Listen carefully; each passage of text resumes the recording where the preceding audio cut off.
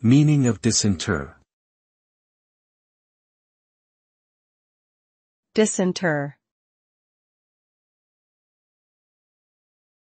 Disinter. disinter, Disinter. The word disinter means to unearth or remove something that has been buried, often a dead body. When something is disinterred, it is brought back to the surface or brought to light after being hidden or forgotten. This can be done for various reasons, such as legal investigations, archaeological purposes, or even for personal reasons like wanting to move a loved one's remains.